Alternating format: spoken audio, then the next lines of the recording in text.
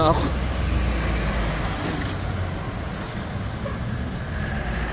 Baka kasi makakalis sila bukas na umaga. Ay, mga tanghali.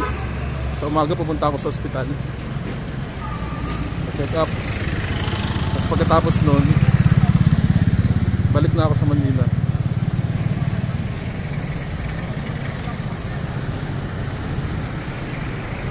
Kaya hinabol ko na to itong video na to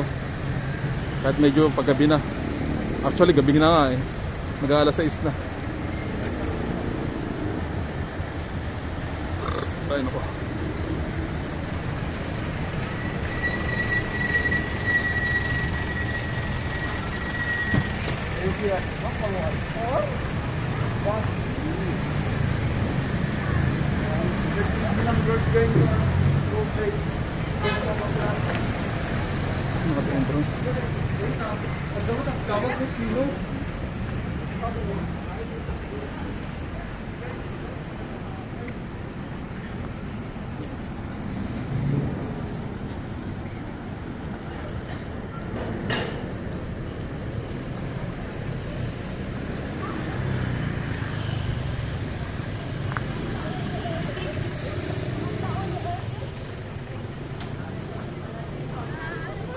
Night walk. Naging dating nito night walk.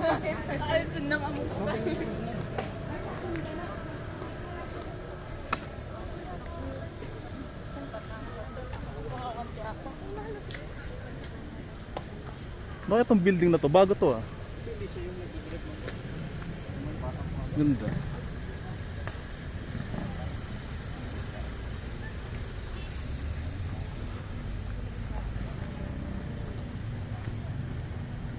Meron silang sariling McDo. oh. Sa UB naman, sariling 7-Eleven. Sa UC, sa UC may, may sariling convenience store sa loob ng ano, sa loob ng UC mismo.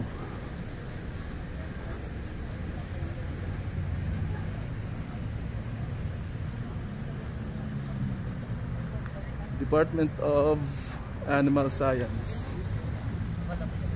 Ito bago to eh. Paano kayo makapasok dito? Ano nila? Park? Ba't kasi may bakod ano? Dapat walang bakod to. Ang sagwa naman may bakod.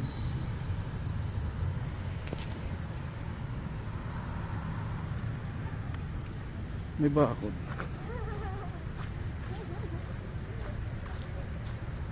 Anong building to? ATI ano yun?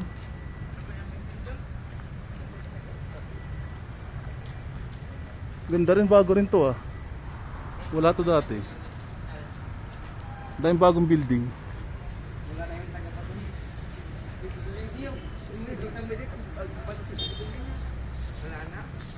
Pag bukas hindi pa ako nakaalis, babalik ako dito para mas maliwanag yung ano kuha.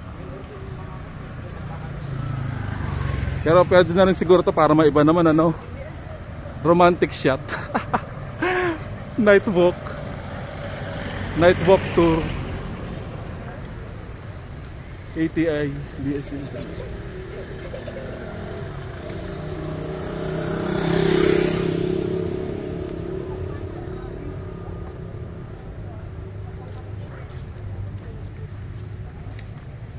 Admin building.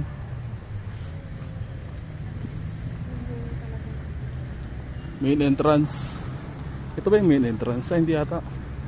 Doon pa yata sa bandaran yung main entrance. Ah, ito na yata. Gate 1. O, diba nga?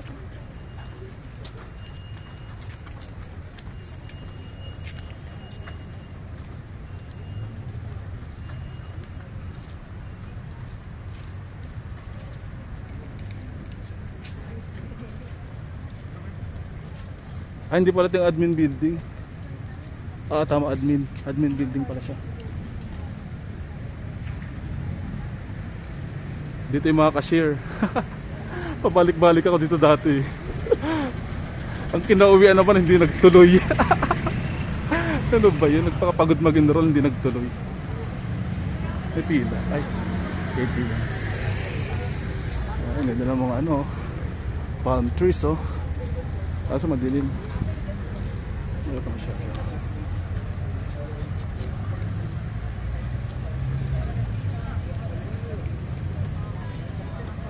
Parang call center building ah. Galing.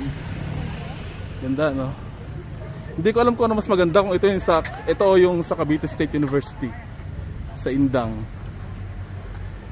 Parehong maganda pero ewan ko. Para mas maganda yata to. sa Cavite State University, ay hindi, para mag, pareho lang. Iba-iba, magkaiba lang yung design ng mga building nila. Pero pareho lang maganda. Doon kasi sa Cavite State University, paano doon eh? Pa-square yung land area. Dito pa rectang rectangular. Mas malawak doon sa ano, ah, Cavite State University sa Indang. Nag-take ako ng ano doon, admission test. Nakapasa naman, syempre. Madali lang naman eh. Pero meron meron mga hindi nakapasa. May quota kasi. Psychology, syempre nga anuhin ko, di ba? So, psychology, yung ano, yung kukunin ko sana. Nung nag-enroll ako, tangina na-stress ako. Hindi ko tinuloy.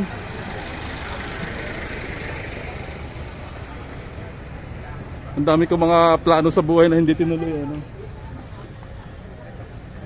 Kaya ngayon, housekeeping na lang ako.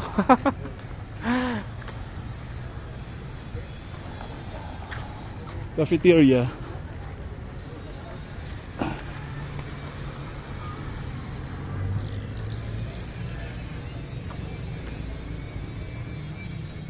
Bilisan natin bago mag-8 ng ano yung oras sa camera. Ay shucks, ito na naman tayo. College of Education. Ay, hindi pala. Arts and Sciences pala. Ang dilim pala, no? Baka bukas mag-take ako lang ng ano, video, another one.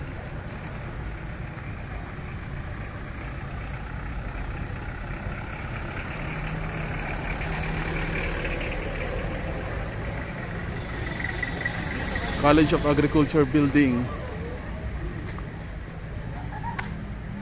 Ganda no? Diyan.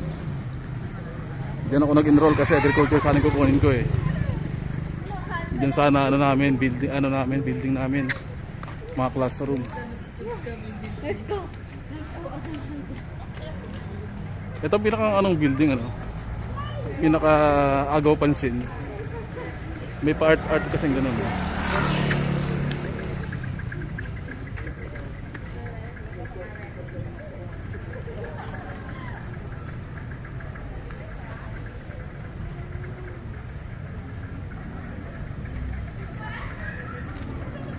Okay na. Meron pa sa bandaron kaso ano, paunti-unti na lang.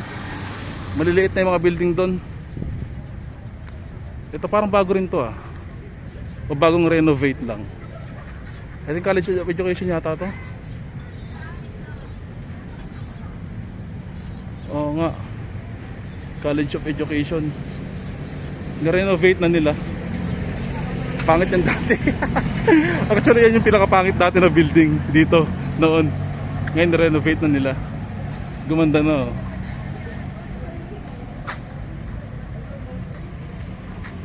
Ganda na ng College of Education building oh.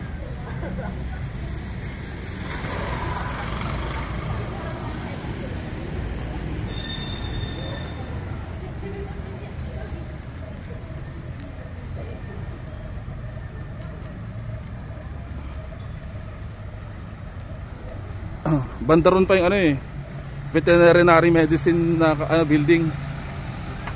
Saan nga ba yun? Parang hindi ko nakalimutan ko kung dun sa banda sa pinanggalingan ko o dun sa dulo na yun. Library. Oh my god ang ganda. Ang ganda ng ano welcome letters. Tawag nga dyan. Ganda oh Maliit yung level nila sa ano, Cavite State University. Talagang yan yata yung pinakamataas na building doon.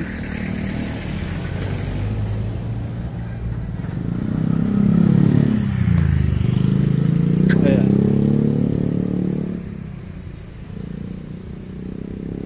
So maliban sa UP, syempre yung UP yung pinakaunang state university na gusto ko, di ba? Ay paborito ko. Tapos sunod, Ito o kaya CVSU, yung Cavite State University. Ayan, okay na. Okay na ano? Kasi pag pumunta pa tayo doon, wala namang masyadong building doon eh. Meron sa pinakadulo talaga. Eh, ang layo-layo naman. Hanggang dito na lang. Okay, nakita pa kaya yung kamay ko? Ang dilim talaga. Okay.